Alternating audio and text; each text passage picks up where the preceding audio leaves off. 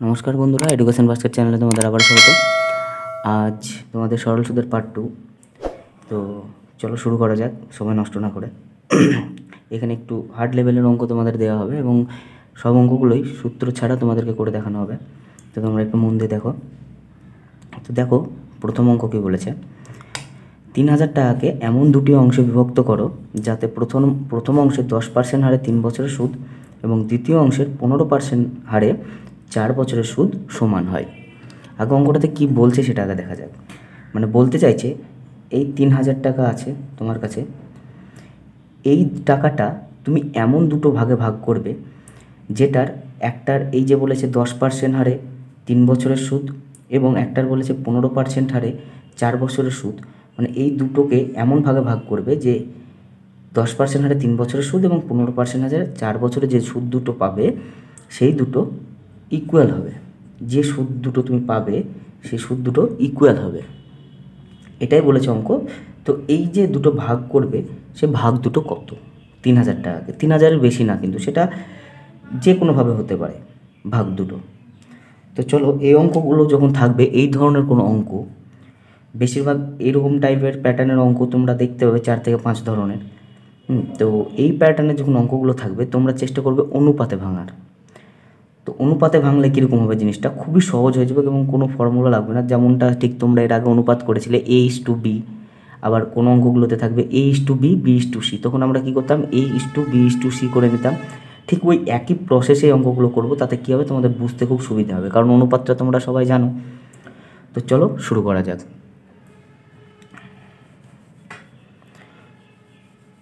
তো কী করব প্রথমে? প্রথম অংশ যেটা আছে, ঠিক আছে?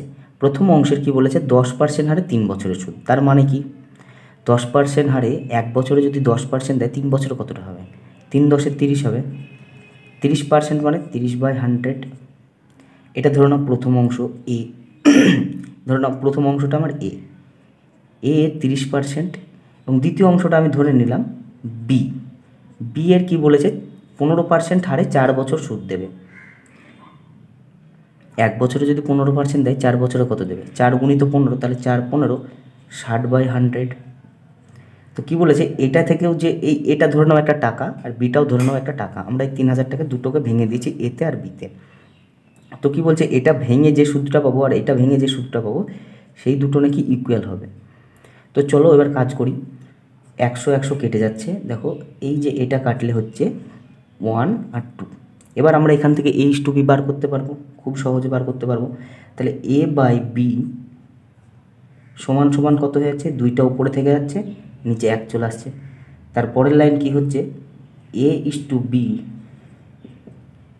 two is to one এবার দেখো কত সহজ হয়ে গেল। এবার কি বলেছে? দুটো অংশ আমাদের বার করতে হবে। তো দেখো, এখানে দুই আর একে তিন দুই আর একে তিন, মোট টাকা কত পাচ্ছি? দু টাকার এক টাকা, তাহলে তিন টাকা পাচ্ছি। কিন্তু আমাদের অঙ্কে কি বলা আছে? তিন হাজার টাকা।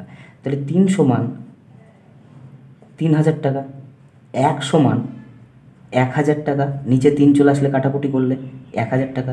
তাহলে দুটো অংশ কত হচ্ছে? একটা গুণিত দুই, এক হাজার গুণিত দুই, দু হাজার টাকা। তিন হাজারের মধ্যে দু হাজার একটা হয়ে গেলাম, তাহলে আর একটা তো বোঝাই যাচ্ছে কত হবে? এক হাজার টাকা। তোমরা এইভাবেও করতে পারো। আবার যদি না হয়, তাহলে অন্যরকমভাবেও করতে পারো। তো এই প্রসেসটা শুধুমাত্র এই যে এই প্রসেসটা তোমরা কীরকম, এরকমভাবে করলেও সহজ, আবার যদি না করো, তাহলে কি আছে আমাদের টোটাল টাকা? তিন হাজার টাকা। আমরা যেটা বার করতে চাইব সেটা উপরে রাখব, তাহলে দুইয়ের আগে তিন আছে। টোটাল অংশটা রাখব নিচে তিন, আর যেটা বার করতে চাইছি হয়তো প্রথম অংশটা। তাহলে উপরে রাখলাম দুই। কাটাকুটি করলে কত হয়? এক হাজার। তাহলে একটা অংশ পেয়ে গেলাম দুই হাজার টাকা। তাহলে তিন হাজারের মধ্যে একটা অংশ যদি দু হাজার হয়, আর একটা অংশ কত হবে? এক হাজার টাকা। এটা অপশান নাম্বার এতে আছে। বোঝা গেল? এই ধরনের অঙ্কগুলোকে চেষ্টা করো সবসময় এই দু রকমের এইচ টু বি অর্থাৎ অনুপাতে ফেলে দেওয়ার। তাহলে দেখো কত সহজে হয়ে যাচ্ছে। কোনো ফর্মুলা লাগছে না, একদম বেসিক মেথডও হয়ে যাচ্ছে। তো চলো এর পরের অঙ্কগুলো দেখলে তোমরা আশা করি আরও বুঝতে পারবে ডিটেলসে দেখো তারপরের অঙ্ক কী বলেছে? পঁচানব্বই হাজার টাকাকে এমন তিনটি অংশে বিভক্ত করো যেন প্রথমটির দশ পার্সেন্ট হারে, দ্বিতীয়টির চার পার্সেন্ট হারে এবং তৃতীয়টির আট পার্সেন্ট হারে চার বছরের সুদ সমান হয়। শেষ অংশটি কত? মানে আমাদের এই তৃতীয় যে অংশটা আছে সেটার আমাদের জানতে চাই শেষ অংশটা কত? মানে সেই একইভাবে অঙ্কটা দেখো। টোটাল পঁচানব্বই হাজার টাকা আছে। এটাকে তোমরা তিনটে ভাগে ভাঙতে হবে ফার্স্ট সেকেন্ড থার্ড এবং তিনটেরই দেখো আলাদা আলাদা রেট অফ ইন্টারেস্ট দেওয়া আছে। একটা দশ পার্সেন্ট একটা চার পার্সেন্ট একটা আট পার্সেন্ট কিন্তু সময়টা সবারের জন্য চার বছর। ঠিক আছে? তো সেই ভাগগুলো কত কত, সেই টাকাটাকে কত ভাগে ভাগে ভাগ করবে, যেন এই রকম আলাদা আলাদা রেট অফ ইন্টারেস্ট অর্থাৎ এই সুদের হার দেওয়ার পরেও চার বছরে তাদের সুদগুলো সমান হয়ে যাবে। তো প্রথমে আমরা সেই সুদগুলোর অনুপাতটা বার করে নেব। তাহলে আমাদের অঙ্কটা খুব সহজে হয়ে যাবে। তো ধরে নাও, প্রথমটাকে আমরা এ ধরে নিচ্ছি, দ্বিতীয়টিকে আমরা বি ধরে নিলাম, তৃতীয়টাকে সি আমাদের অঙ্কের ভাষায় ধরে নিলাম। তাহলে প্রথমের সঙ্গে আগে দ্বিতীয়টির তুলনা করব। তাহলে দশ পার্সেন্ট হারে চার বছরের সুদ কত হবে? এক বছরে দশ পার্সেন্ট যদি হয়, চার বছরে চল্লিশ শতাংশ সুদ হবে। তাহলে এর চল্লিশ শতাংশ এবং দেখো কি বলেছে, সবগুলো সুদ সমান হয়। তাহলে এর সঙ্গে সমান হবে কি? বি এর চার হার, চার পার্সেন্ট করে চার বছরের সুদ, অর্থাৎ চার চারে ষোলো বাই হান্ড্রেড ঠিক তো? এবার যদি এটাকে কাটাকুটি করো, একশো একশো কেটে গেল। এটাকে যদি কাটাকুটি করো, চার চারে ষোলো, চার দশে চল্লিশ আরও ছোট হবে দুই এবং পাঁচ। ঠিক আছে? এখানে আমি ফ্রেশ করে লিখছি। তাহলে দেখো এ বাই বি সমান সমান দুই বাই এই পাঁচ চলে আসলো।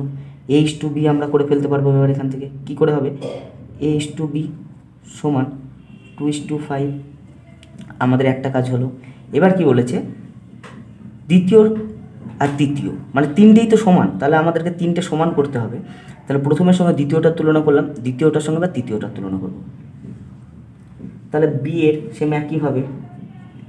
চার চারে ষোলো বাই হান্ড্রেড চার পার্সেন্ট করে চার বছরের সুদ। এটা সমান হবে নাকি সি এর আট পার্সেন্ট হারে? মানে সি এর আট পার্সেন্ট হারে মানে আট পার্সেন্ট হারে চার বছরের সুদ কত হবে? চার আটে বত্রিশ বাই হান্ড্রেড এটা যদি কাটাকুটি করো, এক আর দুই। বোঝা গেল? তারপরের লাইন কি হবে? বি বাই সি সমান দুই বাই এই এক চলে আসলো। পরের লাইন কী হবে? বি ইস টু সি সমান টু ইস টু ওয়ান দেখো, সে মনে পড়ছে অনুপাত, সমানুপাতের অঙ্কগুলো। এবার দেখো, জিনিসটা ঠিক এইরকম দাঁড়াল। তোমাদেরকে ফ্রেশ করে লিখে দিই। এখানে কি আছে? জিনিসটা A is to B is to B is to C A is to B কত আছে? Two is to five is to B is to এখানে সি কত আছে? টু ইস টু ওয়ান বোঝা গেলো? এবার আমরা কি করতাম? এই বি দুটোকে সমান করতাম। সেম এখানেও তাই করব। সমান করতে গেলে কি হবে? এটাকে এই দুটোকে দুটোকে গুণ করব আর এটা দিয়ে এই দুটোকে গুণ করব। তাই তো? তাহলে দুই দিয়ে যদি পাঁচকে গুণ করি দশ হয়ে যাচ্ছে, পাঁচকে যদি দুই দিয়ে গুণ করি দশ হয়ে যাচ্ছে। তাহলে আমাদের বি দুটো সমান হয়ে যাচ্ছে। এই বি দুটো সমান হয়ে যাচ্ছে।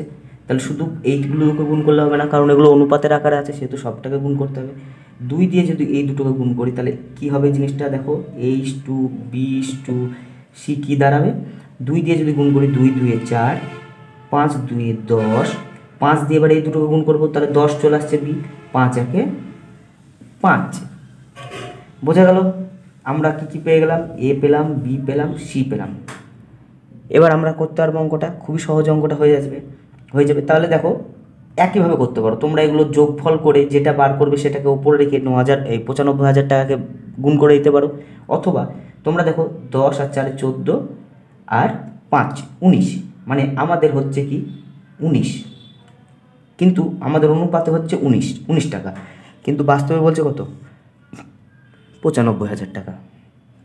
তাহলে উনিশ টাকা আমাদের, কিন্তু বাস্তবে বলছে পঁচানব্বই হাজার টাকা এক সমান সমান কত হবে? উনিশ যদি নিচে চলে আসে পাঁচ উনিশ, পঁচানব্বই তিনটে শূন্য। তাহলে এক সমান পাঁচ হাজার টাকা পেয়ে গেলাম। তাহলে আমাদের কি প্রশ্ন চেয়েছে? শেষ অংশটি কত? মানে শেষ অংশটি আমরা সি ধরেছিলাম। সি কত আছে? পাঁচ। তাহলে এক সমান পাঁচ হলে পাঁচ সমান কত হবে? পাঁচ গুণিত এই পাঁচ হাজার টাকা। অর্থাৎ পঁচিশ হাজার টাকা হবে শেষ অংশ। যেটা অপশন নাম্বার সি আছে। বোঝা গেল, এইভাবে খুব অনুপাতে দেখবে এগুলো খুব মুখে মুখে হয়ে যায়, এত ভেঙে করার কোনো দরকার হয় না। অনেক কটা লাইন আমি এখানে এক্সট্রা করছি, যেমন এই লাইনগুলো এগুলো তোমরা ডাইরেক্ট এইচ টু বি তোমরা মুখে মুখে করে দিতে পারবে। তোমাদেরকে ভেঙে ভেঙে বোঝাচ্ছি, তার কারণ তোমরা যেহেতু এটা প্রথম দেখছ এরকম অনুপাত প্রসেসে সেহেতু তোমাদেরকে ভেঙে ভেঙে বোঝাচ্ছি, যার জন্য এতটা টাইম লাগছে। এই ধরনের, যখন এই ধরনের কোনো প্যাটার্ন আসবে, সেগুলোকে অনুপাতে ভেঙে নেবে। দেখবে খুব সহজ অঙ্কগুলো হয়ে যাবে। ঠিক আছে তারপর অঙ্ক দেখা যাক। দেখো তারপর অঙ্ক কী বলেছে? অমিতবাবু, তার বারো এবং পনেরো বছর বয়সী দুই মেয়ের নামে মোট উনত্রিশ হাজার টাকা ব্যাংকে এমনভাবে রাখলেন যে, আঠেরো বছর বয়স হলে দশ পার্সেন্ট সুদের হারে সুদে আসলে একই টাকা পাবে। তিনি বড় মেয়ের জন্য কত টাকা রেখেছিলেন? এই অঙ্কটা দেখো ঠিক আগের মতনই হবে, আমরা অনুপাত বার করে নিয়ে করব রেশিওতে কিন্তু তার আগে দেখো, এখানে একটা কথা লেখা আছে, সুদে আসলে। এতক্ষণ কিন্তু আমরা সমান হারে সুদ বার করছিলাম। কিন্তু এখানে দেখো বলেছে সুদের হারে সুদে আসলে, সমান হারে সুদে আসলে। তাহলে দেখো তোমাদেরকে একটা জিনিস দেখায় ধরো কোনো টাকার একশো টাকার যদি আমরা দশ পার্সেন্ট হারে দু বছর টাকাটাকে খাটাই, তাহলে কত টাকা সুদ পাবো? এই একশো এই একশো কেটে গেল, তাহলে আমরা কুড়ি টাকা সুদ পাচ্ছি। তাহলে সুদ যদি হচ্ছে, তাহলে কুড়ি টাকা। যদি বলে সুদে আসলে কত টাকা পাবো? তাহলে কিন্তু আমার আসল কত ছিল? একশো টাকা। এর সঙ্গে কিন্তু একশো টাকা অ্যাড হয়ে যাবে। তাহলে আমরা সুদে আসলে কত টাকা পাচ্ছি?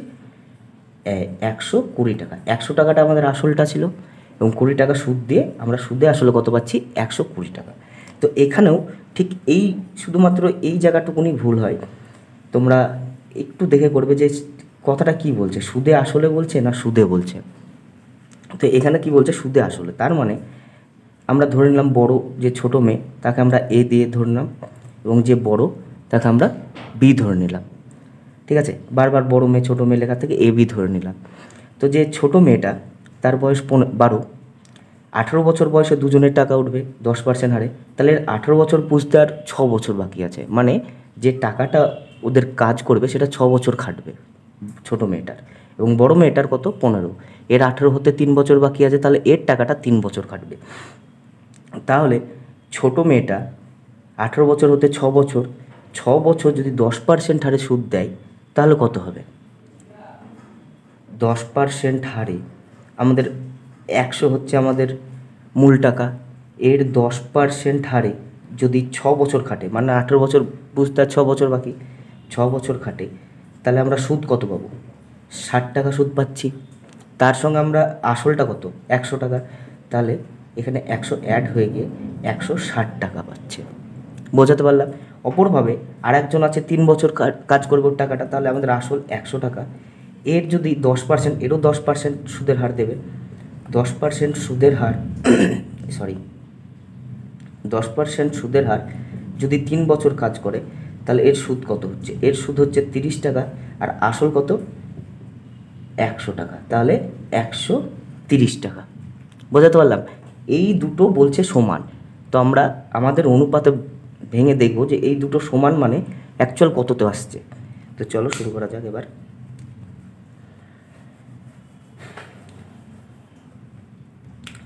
তাহলে আমাদের এ ছিল ছোটো মেয়ে। তাহলে এর ছ বছর দশ পার্সেন্ট হারে যদি কাজ করে টাকাটা, তাহলে কত পার্সেন্ট হচ্ছে? ষাট পার্সেন্ট তার সঙ্গে ওর আসল টাকাটা অ্যাড হচ্ছে, তাহলে একশো ষাট বাই একশো। এটা সমান হবে নাকি এই যে বড় মেয়ে যে আছে তার সঙ্গে? তাহলে বড় মেয়ে আমরা বি ভাষায় প্রকাশ করেছি। তাহলে বি এর দশ পার্সেন্ট হারে তিন বছর টাকাটা কাজ করেছে। তাহলে তিরিশ প্লাস একশো টাকাটা, যেটা দেখালাম তোমাদের। তাহলে একশো তিরিশ বাই হান্ড্রেড এত পার্সেন্ট ঠিক আছে? তাহলে দেখো এখানে কাজ করলে শূন্য শূন্য কেটে গেল। তাহলে আমরা এখান থেকে এ ইস টু বি বার করে নিতে পারব। তেরো বাই ষোলো। তার মানে এ ইস টু বি সমান তেরো ইস টু ষোলো। বোঝা গেল? দেখো এবার অঙ্কটা সেই আগের মতন হয়ে গেল। ঠিক আছে? আগের মতন হয়ে গেল। তাহলে এবার কি বলেছে? তিনি বড় মেয়ের জন্য কত টাকা রেখেছিলেন? এখান থেকে দেখো তোমরা সেই যেটা বললাম, এই দুটো যোগফল বার করে যাকে জানতে চেয়েছে তাকে উপরে রেখে মূল টাকাটাকে যদি ভাগ করে দাও তাহলেও হবে। আবার দেখো এখানে আমাদের অনুপাতের ভাষায় কত টাকা আসছে? তেরো প্লাস ষোলো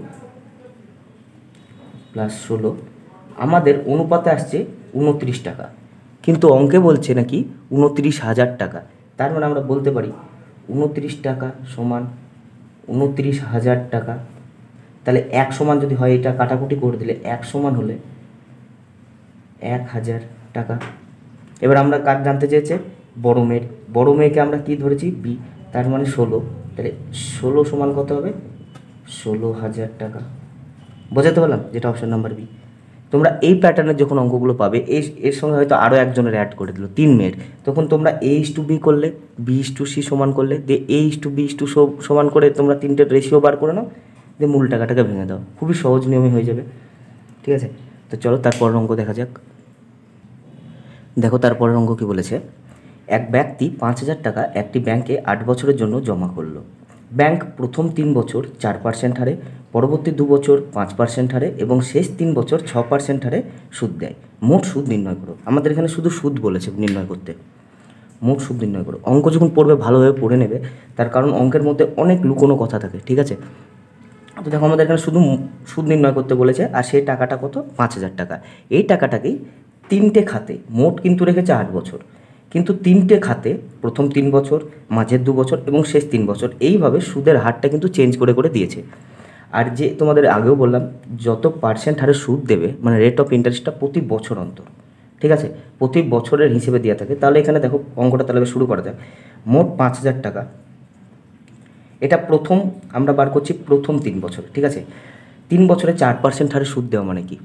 এই যে রেট অফ ইন্টারেস্টটা প্রতি বছর যদি চার পার্সেন্ট হয়, তিন বছরে কত হবে? তিন চারে বারো পার্সেন্ট তাহলে বারো বাই হান্ড্রেড আমরা এখানে যদি এভাবে বার করতে পারতে, তুমি চার বাই হান্ড্রেড গুণিত তিন, সে একই ব্যাপার হচ্ছে যে তিন চারে বারোটা মানে জিনিসটা তোমাদের একবার দেখাই। জিনিসটা কীভাবে একবারে হচ্ছে? চার পার্সেন্ট হারে। আচ্ছা চার পার্সেন্ট হারে গুণিত কত বছর? তিন বছর। তাহলে দেখো তিন চারে বারো বাই হান্ড্রেড আমরা একবারে লিখে দিচ্ছি, তাহলে কী হচ্ছে? একটা লাইন কম হচ্ছে। ঠিক আছে? তোমরা এভাবেও করতে পারো, আবার ওইভাবে গুণ করে করতে পারো। তাতে কী হয়? সময়টা একটু কম লাগে, তোমাদের একটা লাইন কম লাগে। তাহলে এটা প্রথম তিন বছরের, প্রথম তিন বছরের, তোমার তাহলে কত হচ্ছে? সুদ দেখা যাক, শূন্য শূন্য কেটে গেল, দুশো আর গুণিত তিন, ছশো টাকা। এটা কি হলো? প্রথম তিন বছর থ্রি ইয়ারের আচ্ছা দ্বিতীয়, এবার দ্বিতীয় যে বছরটা আছে, তিন বছর পর থেকে পরের যে দু বছর মানে পরবর্তী দু বছরটা, পাঁচ পার্সেন্ট হারে সুদ দিয়েছে। মানে এই পাঁচ হাজার টাকাটা চেঞ্জ হয়নি, এই পাঁচ হাজার টাকাটার উপরেই সুদ দিচ্ছে। তাহলে পাঁচ হাজার টাকাটার দু বছর পাঁচ পার্সেন্ট হারে মানে কি? দশ বাই হান্ড্রেড দুই গুণিত পাঁচ, তার মানে দশ বাই হান্ড্রেড শূন্য শূন্য শূন্য শূন্য কেটে গেলে পঞ্চাশ গুণিত দশ হলে পাঁচশো। এটা হচ্ছে কি? দু বছর। পরের দু বছর। তাহলে আমাদের পাঁচ বছর হয়ে গেল এই দুটো মিলে। ঠিক আছে? তারপরে কি বলছে? শেষ তিন বছর। মানে এখানে তিন আর দুয়ে পাঁচ বছর হয়ে গেল। তাহলে মোট আট বছর রেখেছে তাহলে বাকি থাকল তিন বছর। তিন বছরের হিসাব কি বলছে? এই পাঁচ হাজার টাকাটাকে তিন বছর ছ পার্সেন্ট হারে সুদ দিচ্ছে। মানে তিন ছয় আঠেরো বাই হান্ড্রেড শূন্য শূন্য শূন্য শূন্য কেটে গেল, তার মানে পাঁচ আঠেরো নব্বই নশো। এটা কি লাস্ট থ্রি ইয়ার তাহলে দেখো, এটা কিন্তু টোটাল যেটা আছে, এটা কিন্তু আট বছরের হিসেব হয়ে গেল। বোঝাতে পারলাম? টোটাল আট বছরের হিসেব হয়ে গেল। তাহলে এবার কি বলেছে আমাদের? মোট সুদ। আট বছরের টোটাল সুদ আমরা যোগ করে দেবো এটা। তাহলে শূন্য শূন্য, এগারো আর নয়, কুড়ি। মোট সুদ তাহলে দু হাজার টাকা। বোঝাতে পারলাম? এই টাকাটার আমাদের শুধুমাত্র সুদ জানতে চেয়েছে। আবার যেখানে বলতে পারতো যে সুদে আসলে কত, তাহলে কিন্তু এই পাঁচশো টাকাও অ্যাড করতে হতো। তাহলে প্রথমটা তো পাঁচ হাজার ছশো। দ্বিতীয়টা হতো কত? পাঁচ হাজার পাঁচশো। তৃতীয়টা কত হতো? পাঁচ হাজার নশো। এরকম বলবে না, তার কারণ হচ্ছে এখানে শুধু সুদটাই বার করতে বলছে। একটা টাকা শুধুমাত্র একবারই আসলটা অ্যাড হয়। ঠিক আছে? যদি এখানে বলতো যে সুদ আসল, অনেক সময় থাকে, সুদ আসল নির্ণয় করো। মোট সুদের সঙ্গে যদি থাকতো সুদ আসল, তাহলে এই দু হাজার টাকাটা তোমাদের কিন্তু সুদ বেরোলো। এবার যদি বলতো যে সুদ আসল নির্ণয় করো, তাহলে কিন্তু তোমাদের এই পাঁচ হাজার টাকাটা এখানে অ্যাড করতে হতো। পাঁচ হাজার যদি অ্যাড করতে তাহলে হয়ে যেত সাত হাজার টাকা। মানে এই পাঁচ হাজার টাকাটাকে তুমি এই আট বছর খাটিয়ে দু হাজার টাকা এক্সট্রা পেয়েছ সুদ হিসেবে। তাই তোমার টোটাল সুদে আসলে হচ্ছে সাত হাজার টাকা। তার মানে সাত হাজার টাকা থেকে যদি পাঁচ হাজার টাকা বাদ দাও দু হাজার টাকা সুদ বেরিয়ে আসে। বোঝা গেল? যদি বলে সুদ আসল, তাহলে আসলটা তোমার সঙ্গে, সুদের সঙ্গে অ্যাড করে দেবে। ব্যাস, এইটুকুই অঙ্ক। তারপরের অঙ্ক, চলো দেখা যাক কী আছে। দেখো, তারপরের অঙ্ক কী বলেছে? এ বিকে বারোশো টাকা পাঁচ বছরের জন্য এবং সিকে পনেরোশো টাকা দু বছরের জন্য ধার দেয়। মোট নশো টাকা সুদ পায়। সুদের হার কত? মানে একজনকে দিয়েছে বারোশো টাকা পাঁচ বছরের জন্য এবং আরেকজনকে দিয়েছে পনেরোশো টাকা দু বছরের জন্য। কিন্তু এদের দুজনকে টাকা দেওয়ার পরে যে সুদটা হয়েছে, সেটা হয়েছে নশো টাকা। কিন্তু তাদেরকে এমন একটা সুদের হারে দিয়েছে, সেই হারটা আমাদের জানা নেই। সেই হারটা দুজনকেই সমান হারে দিয়েছে টাকা এবং তার ফলে যে সুদটা পেয়েছে, সেটা হচ্ছে নশো টাকা। তাহলে আমাদের ওই সুদের হারটা কত, সেটা জানতে হবে। একজনকে বারোশো টাকা পাঁচ বছরের জন্য আর একজনকে পনেরোশো টাকা দু বছরের জন্য। বোঝা গেল ব্যাপারটা? দিয়ে একটা সুদের হার থাকে তো। যে এত পার্সেন্ট সুদের হারে তাকে টাকাটা দেয়। এই সুদের হারটা আমাদের জানা নেই, কিন্তু এমন হারে টাকাটা দিয়েছে যে, যেটার পরে সুদ হয়েছে নশো টাকা, দুজনের যোগফল। ঠিক আছে? তো দেখো, এই জায়গাটাতে আমরা সেই একই রকমের, একইভাবে অঙ্ক করব। কীরকম বারোশো টাকা পাঁচ বছরের জন্য দিয়েছে। আচ্ছা প্রথমে একজনকে দিয়েছে বারোশো টাকা, পাঁচ বছরের জন্য দিয়েছে। এবার আমাদের যদি বলতো রেট অফ ইন্টারেস্ট এত, তাহলে আমরা কিন্তু সেটা রেট অফ ইন্টারেস্টটা চাপিয়ে দিতাম। কিন্তু সেটা আমাদের বলেনি, সেটাই আমাদেরকে বার করতে হবে। এর ফলে একটা সুদ বেরিয়ে আসলো। তার সঙ্গে অ্যাড হয়েছে কি? পনেরোশো টাকা দু বছরের জন্য আর একজনকে পনেরোশো টাকা দু বছরের জন্য। এর উপরও একটা রেট অফ ইন্টারেস্ট ছিল, সেটা আমরা জানি না। তো এদেরকে এমন একটা রেট অফ ইন্টারেস্ট দিয়েছে, সেটা আমাদের বার করতে হবে, সেটা আমরা ধরে নিলাম এ পার্সেন্ট হারে তাদের দুজনকে ধার দিয়েছে। মানে এ পার্সেন্ট দিলাম মানে এর সঙ্গেও এ পার্সেন্ট আছে, এর সঙ্গেও এ পার্সেন্টটা আছে সুদের হারটা। দিয়ে সুদ হয়েছে নাকি এই নশো টাকাটা। এবার দেখো অঙ্কটা সেরে ফেললে কেমন হয়? পাঁচ বারো ষাট, ছ হাজার টাকা প্লাস তিন হাজার টাকা। গুণিত এ বাই হান্ড্রেড সমান নশো টাকা। এটা আমাদেরকে ফাইন্ড করতে হবে। তারপরের লাইন কি হচ্ছে? ছয় আর তিনে নয় হাজার টাকা। গুণিত এ বাই হান্ড্রেড সমান নশো। এখানে যদি কাটাকুটি করো, তাহলে নাইনটি এ তাহলে এ যদি এদিকে থেকে যায়, এই নব্বইটা এদিকে চলে আসবে। তাহলে নশো বাই নব্বই মানে এটা কাটাকুটি করলে কত হচ্ছে? Ten percent. মানে এ সমান সমান টেন পারসেন্ট হারে দুজনকে সুদের হাতে যে যেটা অপশন নাম্বার বি তোমরা চেক করে নিতে পারো ক্রস চেক করে। বারোশো টাকার পাঁচ বছরের দশ পার্সেন্ট হারে যে সুদটা বেরোবে, আরেকজনকে পনেরোশো টাকার দু বছরে টেন পার্সেন্ট হারে যে সুদটা বেরোবে, দুজনের যোগফল নশো টাকা। তোমরা ক্রস চেক করে নিতে পারো, দেখবে এরকমভাবেই বেরিয়ে আসবে। এই নশো টাকাটা বেরিয়ে আসবে। দেখবে সেই পার্সেন্টটা দশ পার্সেন্ট হারে মিলে যাবে নশো টাকা। বোঝা গেল? এই জায়গাটা আমরা কি করলাম? দুটোর সুদটা অ্যাড করে দিয়ে আমরা যেটা জানি না, সেটাকে নর্মালি রেখে দিলাম। বাস, দুজনকে একই সুদের হার দিয়েছে, তাই দুজনের জন্য একই রেখে দিলাম। বাকি যেমন বলেছে অঙ্ক, তো সেইভাবে কাজ করে ফেললাম। চলো তারপর অঙ্ক দেখা যাক। দেখো তারপর অঙ্ক কি বলেছে? সুদের হার দু পার্সেন্ট বাড়লে কত টাকার চার বছরের সুদ দুশো চল্লিশ টাকা বেশি পাওয়া যাবে? মানে কি বলছে? এমন একটা টাকা ছিল যার যদি রেট অফ ইন্টারেস্টটা দু পার্সেন্ট বাড়িয়ে দাও, তাহলে সেটা চার বছরে গিয়ে দুশো চল্লিশ টাকা বেশি পাওয়া যাবে। ঠিক আছে? তাহলে দেখো এই অঙ্কটা একদম নর্মালিভাবে যেমন করে আসছো সেইভাবেই হবে। কীরকম? আমরা টাকাটা জানি না, যেটা এ টাকা আছে। এর দু পার্সেন্ট ঠিক আছে, কত বছর খেটেছে? চার বছর। তো কি বলছে? সুদ দুশো চল্লিশ টাকা বেশি পাওয়া যাবে। যেমন বলেছে, তেমন সাজিয়ে নিলাম। আসলটা আসলের জায়গায় রাখলাম বাম হাতে। যে সুদ বলেছে, সেটা ডান হাতে রাখলাম। আমাদেরকে আসলটা জানতে হবে, কত ছিল। তাহলে দেখো কি হচ্ছে এখানে। চার দিয়ে যদি কাটো, পঁচিশ হচ্ছে। এদিকে যদি যাই, তাহলে এ সমান সমান কত হচ্ছে? আসলটা দুশো চল্লিশ গুণিত পঁচিশ ওপরে থাকবে, দুই নিচে চলে আসবে। তাহলে এটা যদি কাটো, তাহলে কত হচ্ছে? একশো কুড়ি। তাহলে এ সমান সমান একশো কুড়ি গুণিত পঁচিশ সমান সমান তিন হাজার টাকা, যেটা অপশন নাম্বার বি বোঝা হলো এই অঙ্কগুলো এতটাই সোজা। আবার এই অঙ্কটাকে যদি তোমরা এখানে এক বছরের বার করতে, চার বছরের সুদ দুশো চল্লিশ টাকা, তাহলে এক বছরে কত হবে? চার বছরে দুশো চল্লিশ পাচ্ছ, তাহলে এক বছরে কত হবে? ষাট টাকা। ঠিক তো? তাহলে দেখো এই অঙ্কটা একইভাবে যদি তোমরা এক বছরে বার করতে, এ টাকার দু পার্সেন্ট হারে এক বছরে সুদ তাহলে কত হবে? ষাট টাকা। পরের লাইন কী হবে? দুই দিয়ে যদি এটা কাটো, পঞ্চাশ। তাহলে এ সমান সমান ষাট গুণিত পঞ্চাশ। এ সমান সমান পাঁচ, ছয়, তিরিশ, তিন হাজার টাকা। বোঝা গেল? যদি এক বছরে বার করতে, তাও হয়ে যেত। ঠিক আছে? তো এই ছিল তোমাদের আজকে কিছু আলাদা টাইপসের অঙ্ক। তোমাদেরকে এরপরে আরও কিছু আলাদা আলাদা টাইপসের অঙ্ক নিয়ে আসব। মানে অঙ্কের অনেকগুলো কী হয়? একটা অঙ্কের অনেক রকম প্যাটার্ন বেরিয়ে আসে তো আলাদা আলাদা প্যাটার্ন দিলে তোমাদেরও সুবিধা হবে জিনিসগুলো কীভাবে বেরিয়ে আসছে। তো চেষ্টা করব আমি যতগুলো টাইপস আছে, সেই সব রকম টাইপসগুলো যতটা সম্ভব তোমাদের সামনে তুলে ধরার। আর সবগুলো সূত্র ছাড়াই তোমাদেরকে দেখাবো। যদিও বা এগুলো সূত্রের মধ্যে হচ্ছে, কিন্তু আমরা কোনো রকম সূত্র ইউজ করছি না। ঠিক আছে, তো চলো দেখা হচ্ছে পরের ভিডিওতে বেস্ট অফ লাক প্র্যাকটিস করো মন দিয়ে।